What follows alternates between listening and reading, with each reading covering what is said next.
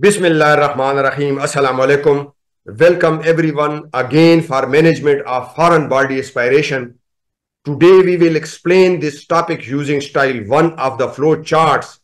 Uh, we will go through each step. In our next uh, lecture, we will explain the same topic but with a different approach uh, using style 2 of the flow charts. Uh, this will allow us to see this from another perspective and deepen our understanding. So let's begin uh, with the style one. Uh, when a large body enters the uh, trachea or bronchus, such as the tooth or the dental instrument, immediately stop the dentistry. Position the patient in a sitting posture to facilitate cuffing. Instruct the patient to try to cuff the object out. Ace cuffing may expel the aspirated material if the airway is partially obstructed. For conscious patient with persistent symptoms, perform Heimlich maneuvers to expel the foreign body. Administer supplemental oxygen to maintain oxygenation. Call medical help and continuously monitor the patient's vital signs. Transport the patient to an emergency care facility for further management. Now let's uh, explain how to perform abdominal thrusts on an unconscious patient with an airway obstruction. Uh, first, lay the dental chair flat. Next, place the heel of your right hand on the patient's abdomen just below the xiphoid process. Make sure to keep your elbow straight and place your left hand over your right for extra force. Finally, push your arms quickly into the abdomen, directing the force downwards and upwards.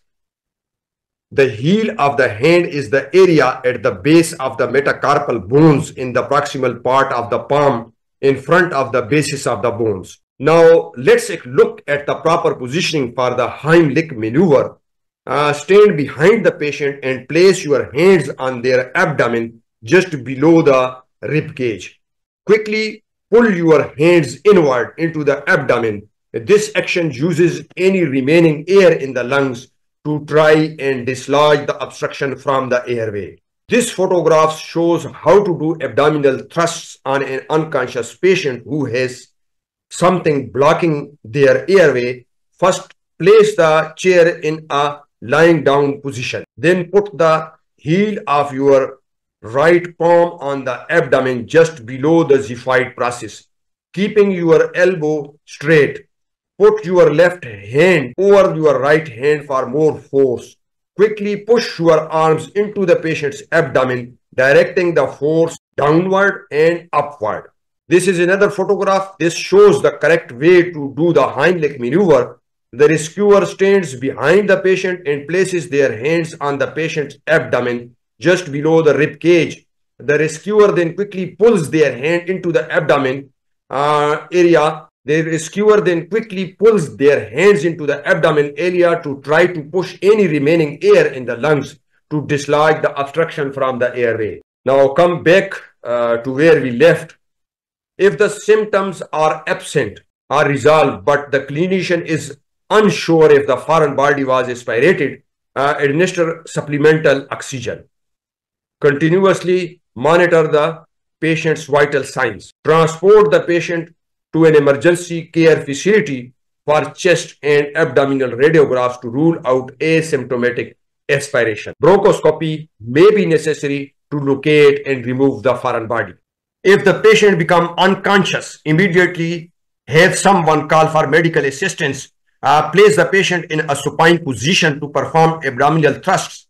After each thrust, turn the patient on their side and perform a finger sweep to remove any foreign body.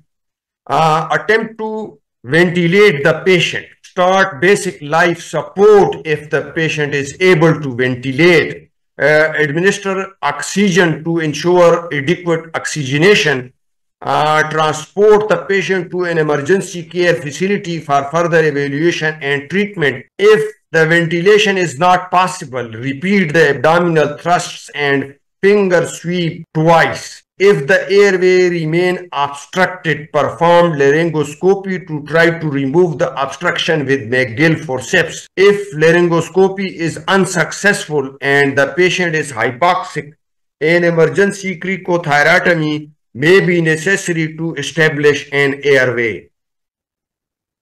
Thank you. Wish you best of luck.